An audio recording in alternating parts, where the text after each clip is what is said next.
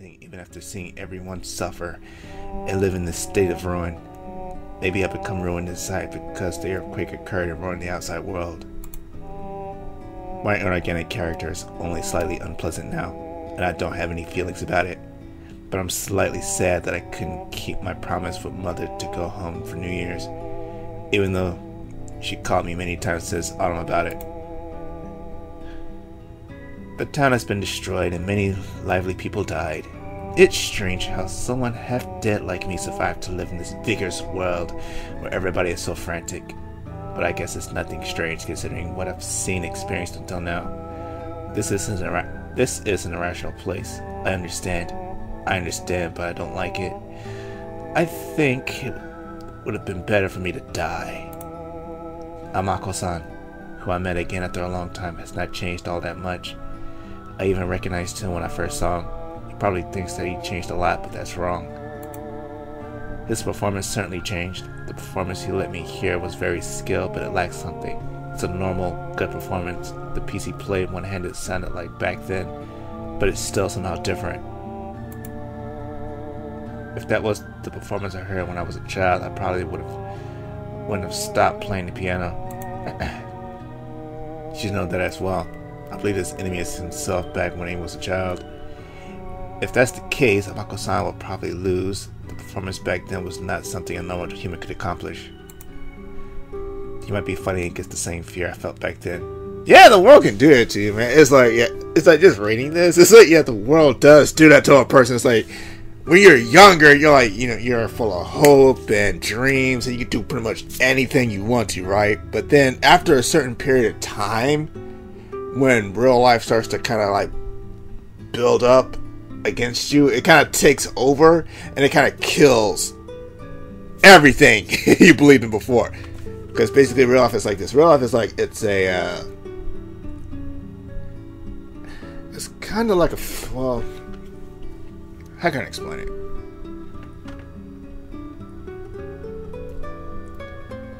Real life is structured in a way that kind of makes it like it's okay not to have dreams. It's okay to kind of follow a set path. It's okay to live a life of monotony because basically, real life is like you pay bills, you eat, sleep, you have a family. That's pretty much it. Anything beyond that, that is extra. You don't have to do that. That's like, yeah, that's going beyond the state of normality. So yeah, when you're a kid, you can do like pretty much anything you want to because you know you're like you don't have you're not like tied down by life. but then when you are, it kind of changes your perspective and like your uh, priorities. So it kind of changes your behavioral patterns and it makes you an even duller person for the most part. Mostly, that's what I think. So yeah, that's probably what happened.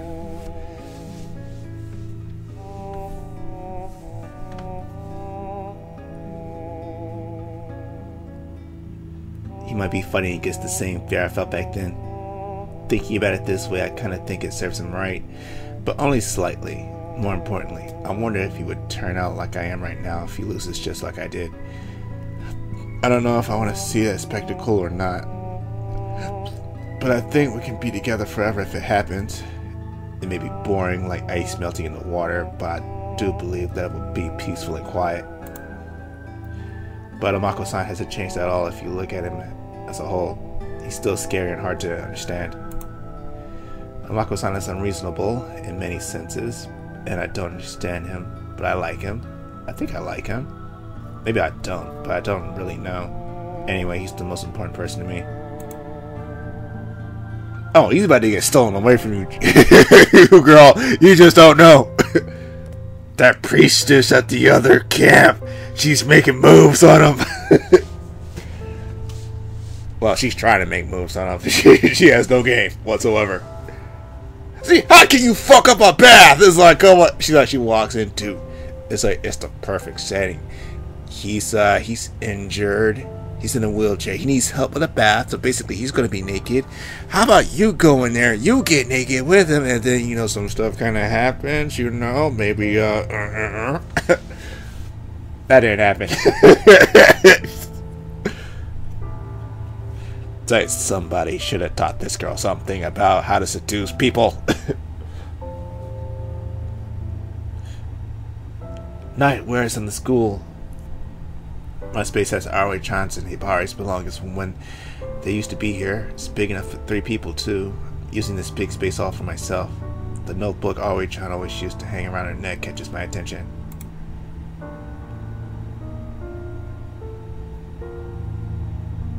I pick it up and flip through the pages. Inside are words that Aroe Chan always uses, such as coffee and thank you. I keep flipping through the pages, thinking that the words Aroe Chan speaks are almost all in here. And on the last pages are just words. To the person who found this notebook or who is caring for Aroe. The handwriting looks feminine and kind. Aroe's old system must have written this. This notebook is called a communication book, and it is something very important for Aroe. If this notebook is lost, please use the contact information below if Aroe is lost along with the notebook, please also use the contact information below. If Aroe pouts, please care for this notebook and listen to her. Aroe can communicate and will be able to calm down if you take your time and listen to her. Aroe cannot communicate well because she thinks and feels differently from other people. So she may be talking in a very different sense even when she is talking the same language as we do. She may do the same things we do with a completely different reasoning behind it. So please do not get mad at her even if you don't understand her. Please do not get mad at her even if Aroe does something strange, does something strange or surprising. Even if Aroe allows it, please do not do something you would not do to a normal person. Aroe cannot tell right from wrong. Even if it is something that would make a normal person happy, please do not do it if Aroe shows dislike. Aroe may not like the same things we do always different even when she may seem just like us. You know, this would be better if it was like in her voice. Aroe is I close the notebook there. I can't make myself read on. She is the chosen one. We have of... Uh, yeah, surprise, surprise. Yes, Snake John, where's the fucking food? Wait, you control everything now, so where's our food? Where's the grub, man? Where are our resources? Why can't you be like Tanemura-san? Why'd you have to chase him out? Why'd you get jealous? Where's your girlfriend, huh? What's she doing? She sitting on her throne? She playing the game. Oh, I kind of set that up wrong. It's like, what? She's sitting on her iron throne. She's playing the game. we have less food now. People at the Vigilante Corps encourage us, saying that we would be able to go look for food again and have enough food once the conflict ends, but everyone at the school knows that it's only to console us. There'd be no reason to fight if, if there's that much food. We cannot reach a compromise in spite of people dying frequently because the problem is critical. But nobody talks about it because it does no good to say anything about it. Everyone says that the Daichi Society should go away and that everything would go smoothly if they didn't exist. I don't know if they really mean it or not. Dude, they have plenty of food. it's just your cat's the problem.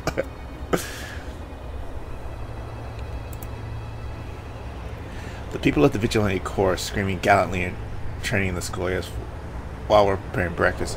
Kuwagata-san is wearing his blood-covered jacket and ordering everybody energetically. Koike Nozomi-san is sitting on a platform a bit away from them and watching. See? Fucking see! Oh! Oh! Bitch! sitting on an iron throne! Oh, fucking called it. Oh, shit. She pushed him up for that shit. What a snake. Koike Nozomi is sitting on a platform a bit away from them and watching them. She's breathing on our own hands from time to time. This is the normal morning scenery. After breakfast, Kuwagata-san tells everyone what happened until yesterday and what we should watch out for today. He tells us that one of the hostages tried to run away and a member of the Vigilante Corps was injured. He didn't say anything about the hostage, but I'm sure he was executed. He then tells us that we're getting dangerously low on fuel, so we need to refrain from using it as much as possible. He also tells us that they saw people of the Daichi Society around here, so we should try not to be alone outside or even inside the premise. Then he tells us to keep the whistles they distributed on us at all times and to blow them when something happens. Whistleblowers! Then, after he tells us everything, we all give a silent prayer to everyone who died during the dispute.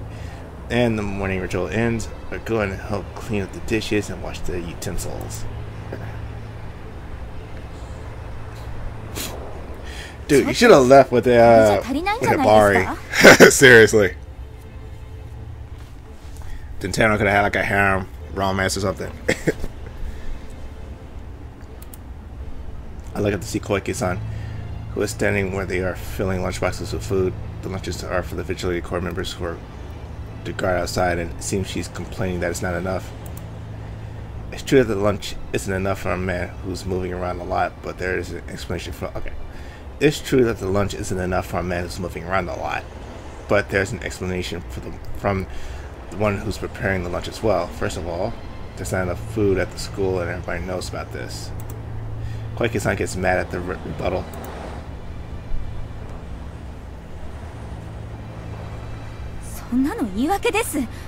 だって警備をする自警団の方々が食べるものなんですよ彼らが命を張ってくれているから私たちは毎日安全に生活することができているんじゃないですか。もしあの連中がいっぺんに学校を襲ってきた時自警団の方々がお腹が減って満足に働けないとなったらどうなると思います？そして負けたら私たちはどうされてしまうと思ってるんですか？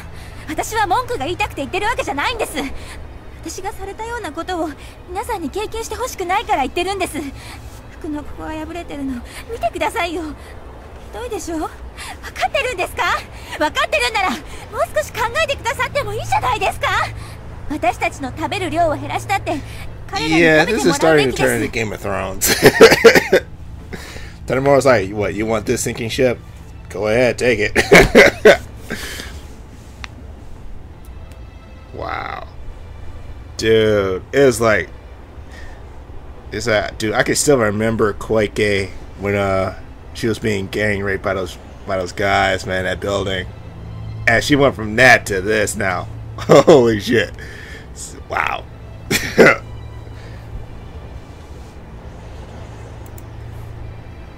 Koike-san ignores everyone's eyes on her and fiercely complains.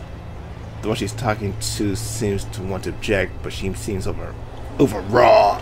What? Overawed. She swallows her words and starts to obey Koike-san. Look, he's like a bitch now. She mercilessly ends the conversation and leaves for the school building. An unpleasant mood remains.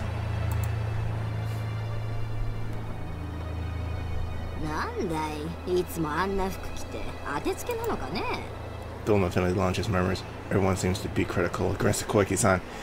Even though what she said is right, she shouldn't have said it like that.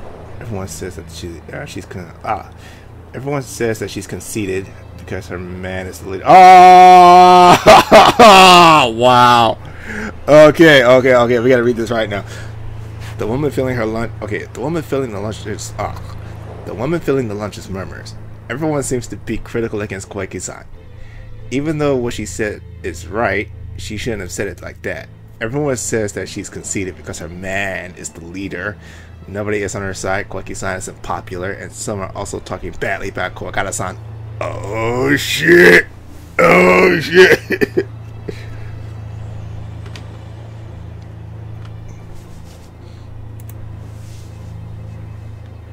oh shit! Do you have an opinion, Yuka?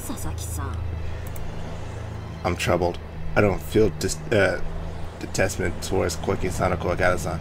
First of all, I can't hold any ill will towards others. Everyone is an amazing person who works hard to live, unlike me.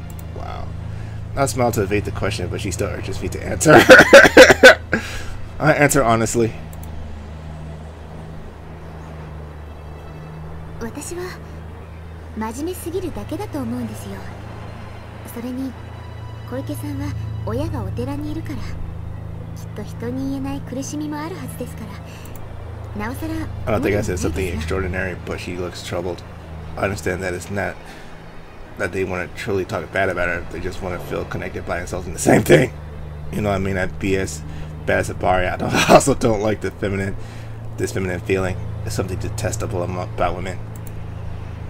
It's strange. This reminds me of how my class was back in high school. I wonder if it would have been better for me to leave the school with Hibari. Yep. Yep, yep, yep, yep, yep, yep, yep, yep, yep, yep, yep, yep. I've been saying that shit since day one. It's like, yeah, big groups, big problems. So yeah, it's better to be on your own. Man, if you're gonna be with a group, just be with them like temporarily. Like, okay, I'm just gonna be here for a while. Then I'm just gonna kind of, kind of fade out. Tamamori, he was chased out by Kurogata, so yeah, he's like, I got the fuck out, and I took Hibari with me. Cause you know, because you know, if you saw her at that uh, at that hot springs, oh hell yeah.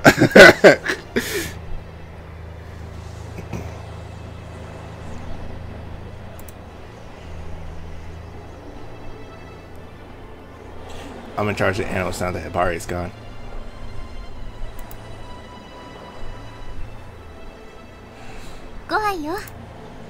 I go inside the fence and empty the dry food into the snow. The hungry dogs usually come running at once, but there aren't that many today for some reason. A few friendly ones come to me, but they only wag their tails and nuzzle against my leg without looking at the food. Are they sick or something? Even if that's the case, I don't think all the dogs suddenly get sick over one night. And they're perfectly normal except for the fact that they don't seem to be hungry. While I wonder about the dog wanting attention, I don't really like dogs because I can't find them cute. They have sharp teeth and move quickly like beasts after all. I still wonder, even though we're a bit more intimate now. These animals were scary powers. These animals with scary powers get so happy when I play with them just a little. Why are they like this? Do they get happy when their master touches them because they have a good social nature? Because they have a social nature. Even if that's the case, why do they think someone clumsy like me is their master? I just don't understand them. No matter how I think about it, they're stronger than I am.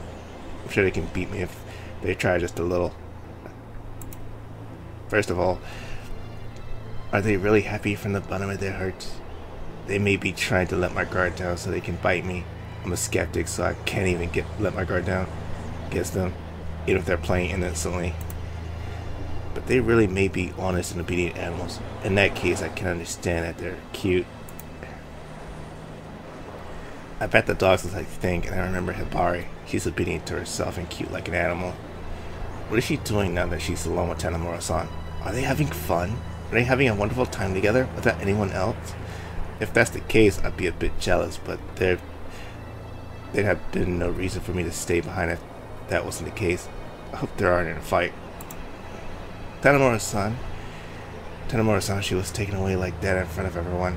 That was so cool. I'm a bit jealous. I wish Amako-san would take me somewhere. I don't know like that. I get embarrassed. Dude, do you... Oh, I get embarrassed what I'm pondering when I notice something. The dog who will always come running first to eat is chewing on something. The dog named Bingo is a glutton and has a habit of licking his food forever. I see, someone must have fed them during the night, so they're full, and that's why they're not eating. I can understand if that's the case, but then, what were they fed? I saw the same amount of dog food compared to yesterday, and we don't have enough food for people at the school. I'll walk over to Bingo.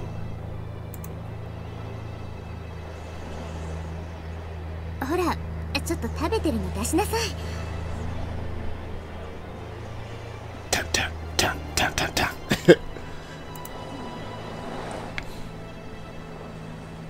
I'll make him open his mouth. I grab his jaw. Come to think of it, I've gotten fairly used to dogs now. A piece of red meat drops out from the dog's mouth. Meat? Where did it come from?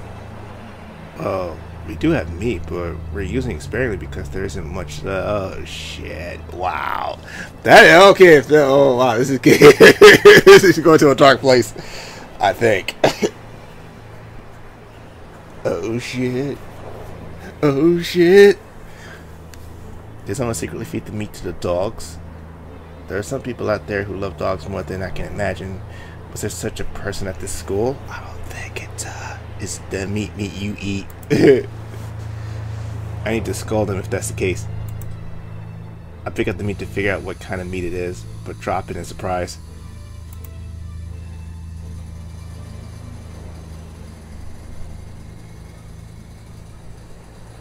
The meat is not something we have preserved. One side is red like edible meat, but the other side is skin and nail that I'm so familiar with.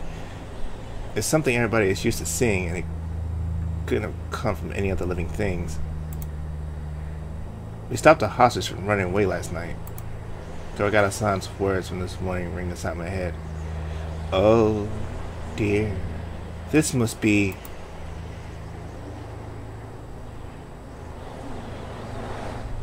I feel my heart pounding. A terrible feeling runs up my spine. I squat down so I won't get hurt even if I fall. Take a canister out of my pocket and spray the contents. I spray the contents in my mouth. I close my eyes and stay still, and the scary feeling in my chest slowly subsides. Seems I made it through. I slowly open my eyes and see that the dogs are watching me. I take a few deep breaths, calm down, and stand back up. I feel fine now. I think this is because of my personality and not because of the medicine. Bingo is trying to pick up what he dropped, so I pick the meat up and throw it away. It draws a parabola. Okay, it draws a para what? Parabola, not parabola. It drops. It draws a parabola through the air and falls without a sound. It's probably buried in the powdered snow by now. I squat down and wipe my fingers using the snow. Bingo puts his smelly face next to me and starts licking me. Dogs are so innocent. I don't feel anything about the fact that he's licking me. I hear Kurogata-san giving commands in the schoolyard. It seems the kid is starting crying in the gym. The snow is quietly falling. There's no wind today. What am I hearing right now? That's not wind. it's like she's like, there's no wind today. And in my ear, there's wind blowing. So, mm, yeah. Mm. While I let the dog lick my face, I'm wondering how long this is going to continue.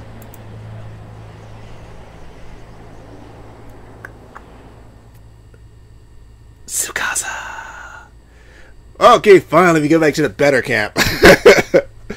like things are going to hell with the Kurogata situation. So uh, yeah, let's uh, let's look at Tsukasa. But in the meantime, I'm going to take a quick break uh, to kind of check the audio on the video, make sure it's going through okay, and all that jazz. So I'll be right back, and I'll probably let the dog in too. So you know, you can actually see me. So, all right, I'll be right back. So I am going AFK. I'm going AFK. Well, damn, mm, I can't really.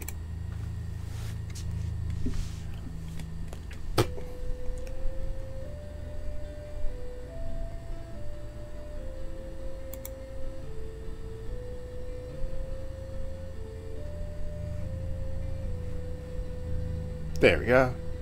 Quick save. It saved quick.